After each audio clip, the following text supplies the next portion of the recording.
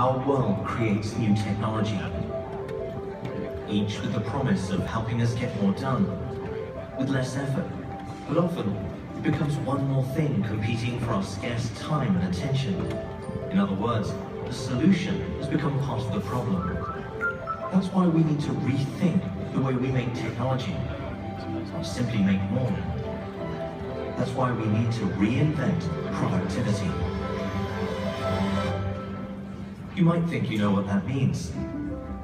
A new version of Office, a better on-screen keyboard, a lighter tablet.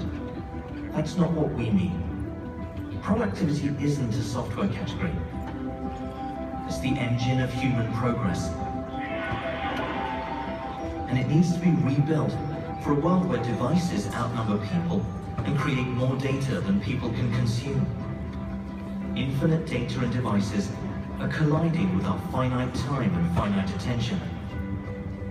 We start by asking the very basic question, what does it mean to be productive? We're productive when we make things, and make things happen. Sometimes on our own, but more often together. Making things has always required having the right tool at the right time. Today, we use tools built with software. With the right software, any device can become the right tool, and any time can become the right time. That is what drives Microsoft, helping people achieve more by giving them the best possible tools for any moment. Building the cloud, writing the software that transforms glass and silicon into the best tools for powering human progress.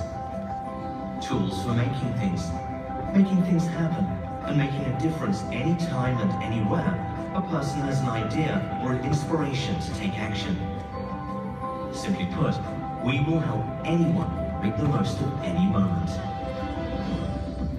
And if we're going to help people make the most of any moment, we need to start by rethinking productivity to make better use of our time in those moments.